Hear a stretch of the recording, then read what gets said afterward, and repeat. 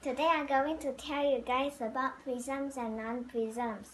Here are some examples of prisms, which is triangular prism, square prism, and rectangular prism.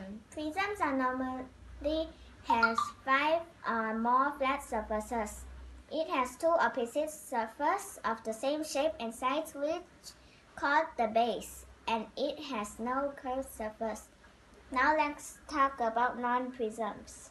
As you can see in the picture, sphere, cylinder, and cone has a curved surface and it does not have five or more flat surfaces. They are non-prisms. Pyramid is also a non-prism because it doesn't have two opposite surfaces of the same shape and size. Thank you. That's all for today.